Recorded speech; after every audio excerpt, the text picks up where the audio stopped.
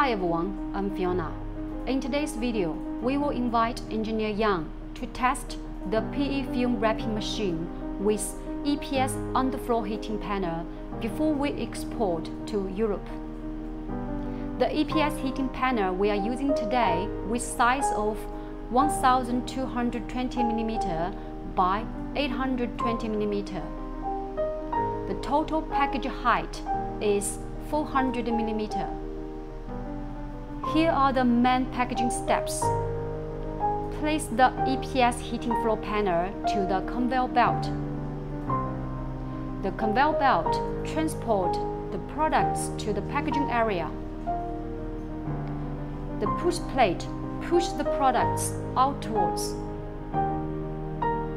The sealing knife drops down to seal the package. Thank you for watching. I'll see you next video.